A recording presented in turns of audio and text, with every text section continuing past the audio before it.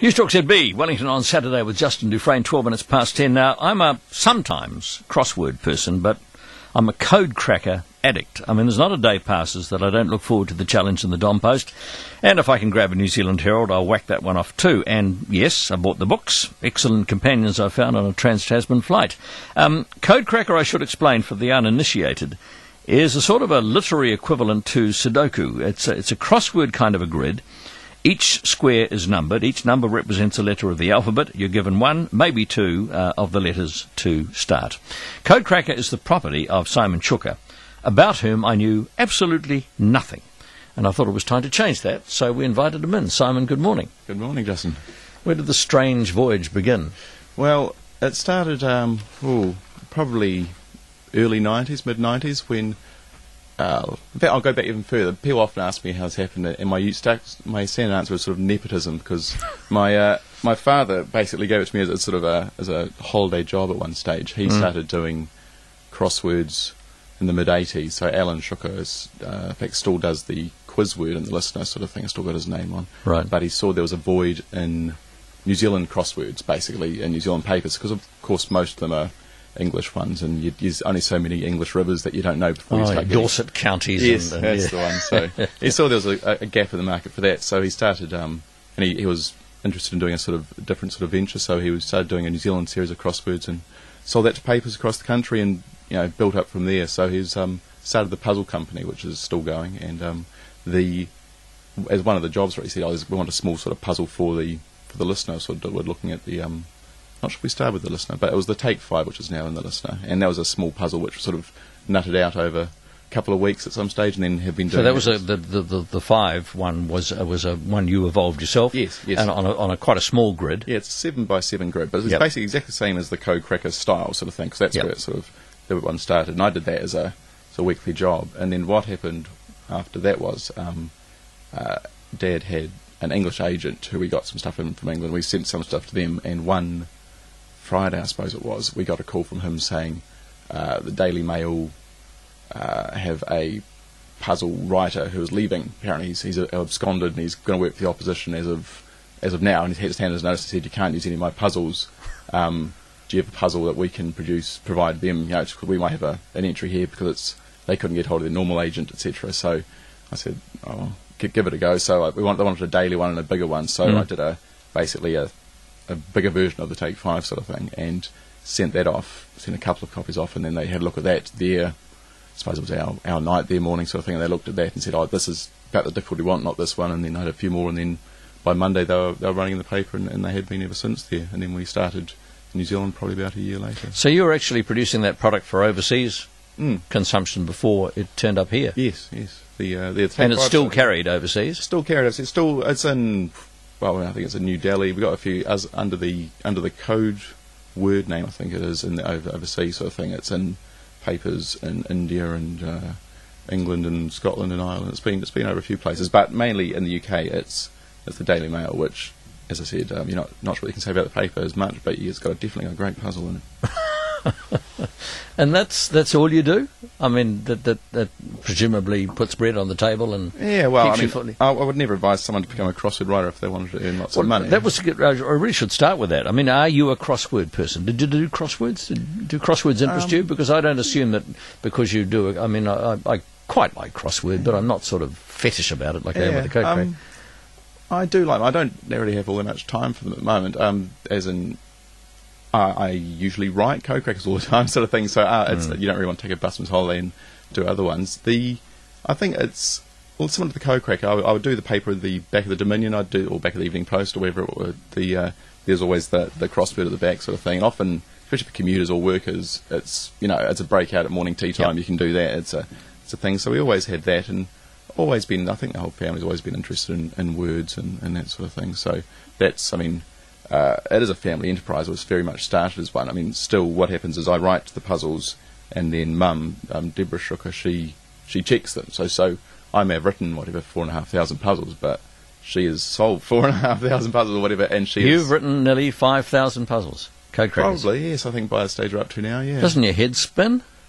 It's it's an ongoing process. Luckily, it has. I, I've sort of thought about recently. I thought when, when you add all that together, as I said, it's been over the space of a decade and a half, but Yeah. it, it definitely mounts up. So, as a code cracker unraveler, how do you decide whether today I'm going to give them just one letter, or I'll give them two, or today I'm going to use the same, almost the same mix of letters in two, maybe different, three different words spread out across the grid? Yeah, well, it always starts with the with the starter letter. 'cause I mean, start a word because I how is there's you know I don't want to give away more than one or two letters to start off with. I want to feasibly give away as little as possible for as long as possible. You want to be as mean spirited as you yes, can. really. basically. I don't, Yeah, you know, yeah, and yeah. uh, I would often I would come into um, when I was working at a electronics factory. I would come into the factory on a uh, on a Monday morning or in the morning, and I'd uh, be told I should have my ears burning because I was being cursed roundly at uh, by everybody at seven o'clock in the morning that morning. But the um, the problem, the major difficulty with writing the code crackers, as far as um,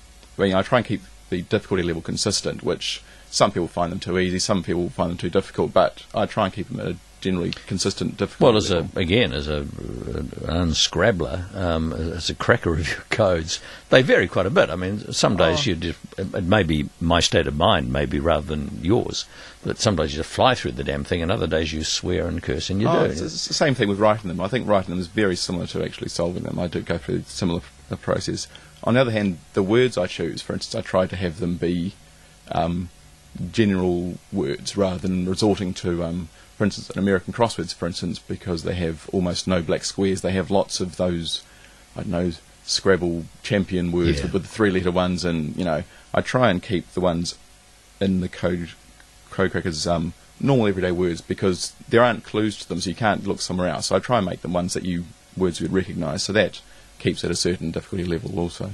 But um, the one or two letter, basically, the puzzle shouldn't be too easy to solve too quickly. I don't want you to have solved the starter letter, solved, solved starter word, and then said, "Oh, that's it. I've done the." so does your mother get it? Does she? The more she does, does she get quicker at them or not? Oh, I'm, I'm, sure, I'm sure we're both quite fast compared to uh, compared to someone who hasn't done any before. I mean, Of course, there are some things. I mean, you know, most commonly the most common letter is going to be an E, Yes. and and but that's not necessarily so. And I've, I've you've used that as a very clever trap sometimes. Yes, I, I Um, know people who do solve it that way. I know people who have, I know people who, to add to the difficulty level, don't put don't look at the star letters at all, but just try and solve it as a, I've done that. a Yep. straight code. Um, How I generally write them is I will start with a starter word.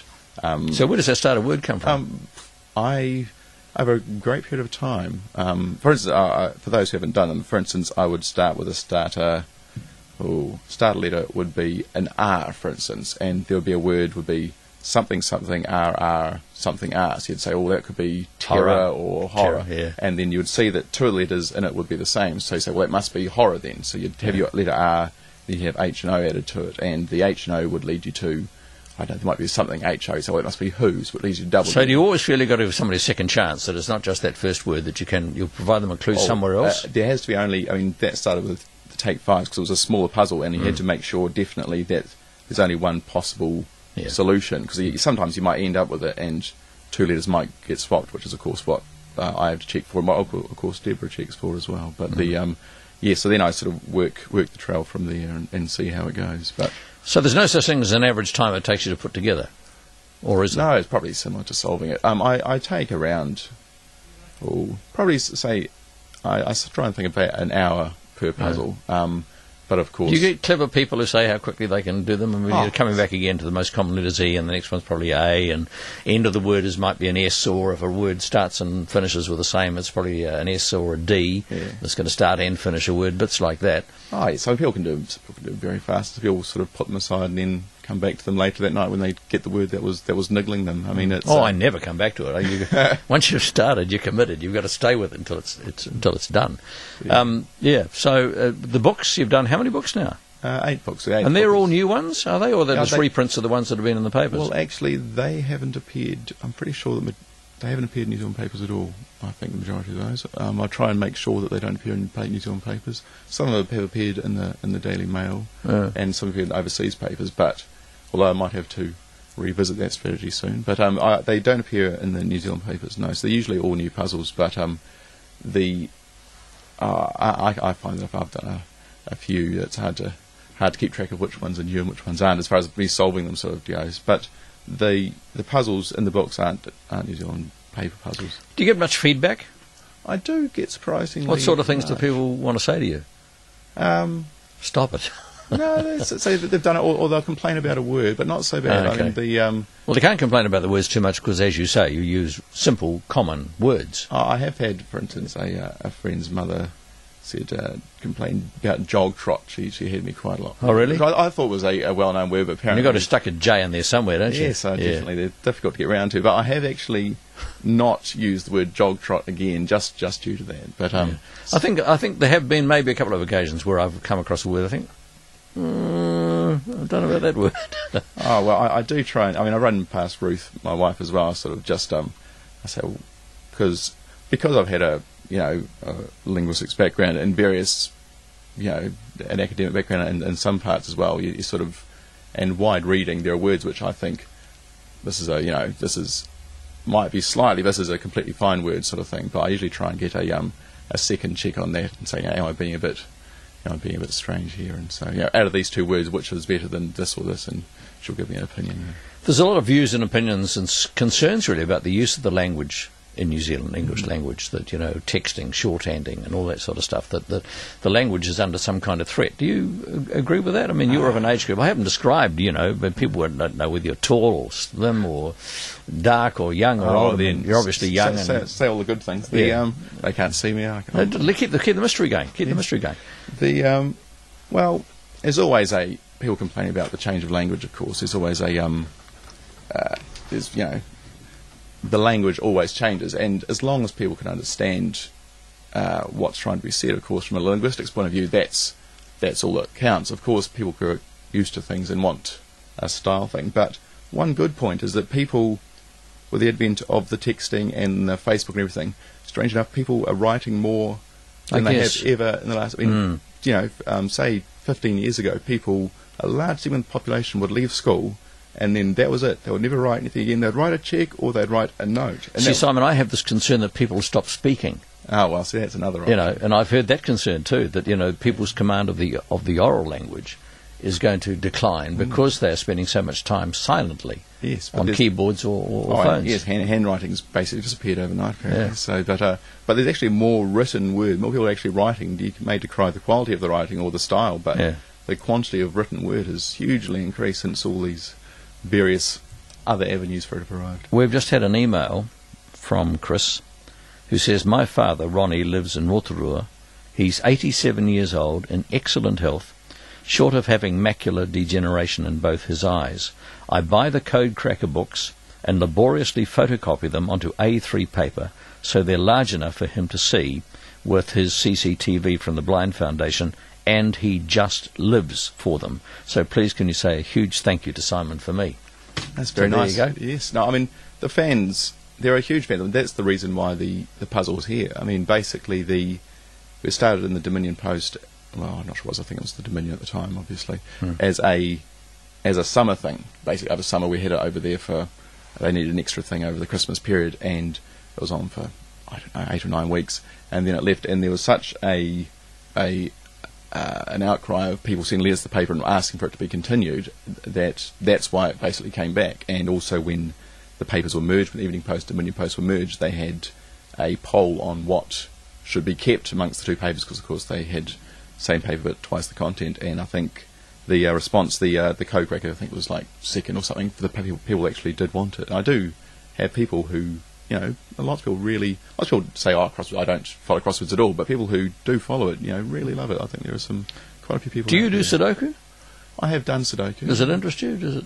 Oh, not really. I'm just looking for reassurance, you see, because it doesn't excite me at all. I mean, it- it's maybe numbers versus letters, words versus sums. Oh, I don't it- it know. is a, it is a puzzle. I mean, I've, as I said, I mean, I've, um, well, I've been for the last. I mean, I've had various other jobs, and of course, with the writing the puzzles, the what if I have a forty-hour a week job, add to that to the. I've always it becomes a whatever fifty-hour a week job, and fifty Mm. becomes sixty. So it's been a bit of a bit of a strange thing having um not having a second job uh, and writing puzzles. But what I've done is um with uh, the birth of my son, we I've been actually working from home completely. So it's been a, it's a bit of a change, although doing you're a house dad. I am a house dad, yes. Mm. So working around um, that also, uh, it's not like I'm, I'm now on, on short times, but it's a, uh, it's the puzzles still have to get done every week. I mean, that's the thing about them. There's, there's never any end to them. no, there's not.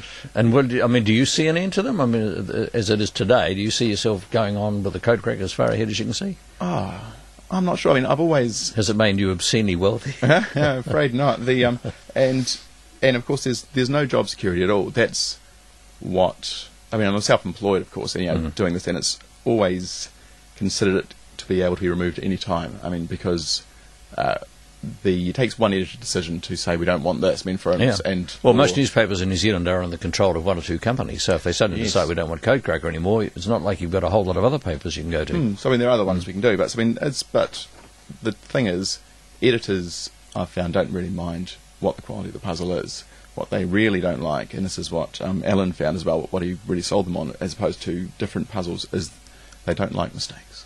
They don't like people No. because yeah, the they don't like giving people an opportunity to pick holes in. Or I mean, I think um, there was once. I think it was a Daily Mail. One of them was a, was a puzzle. I think it was my own one of the errors got through, and it was toboggan um, with a number. It was it was, it was not um, the B's and the G's got mixed up B's and G's got mixed up, and it wasn't on down lines, and it just got suddenly happened, and they were getting a call every. Simon, look, be reassured. It's like people who ring us when we give the wrong time. It's the Oh, same it- same kind of syndrome. Hasn't happened again though, and uh, that's and that's out of whatever uh, X thousand puzzle, and that's what they want. I mean, if you get get mistakes, then the editors and people paper get annoyed. Everyone get calls them up, and they'll say, right, you know, we're not too keen on this puzzle. When next time it comes up, but the fact is we don't make mistakes, and then that's the.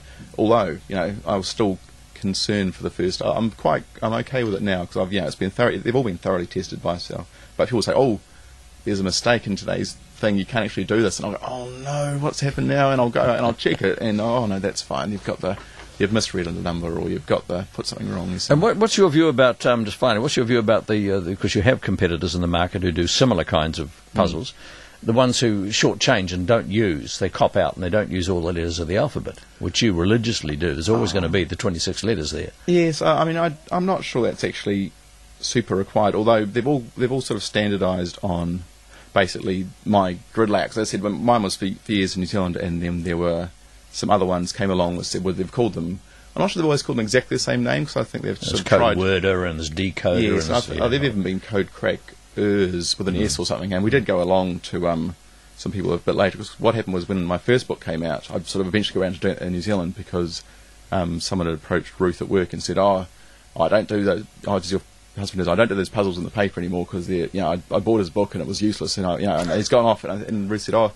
He hasn't. He hasn't printed a book. I'm not sure what you're talking about. And they bought the ones, of course, in the in the supermarket, which Yeah. have s- said code crackers. They, they assumed it was the same one, but of course the the style is different. They're usually um, I mean, they can be computer generated, which is well, obviously a lot quicker. I mean, you can press a button and Cheaper. and, and, and cheaper. You can print off, you know, make a thousand of them. But the um, the but you, when you do that, you have to make it.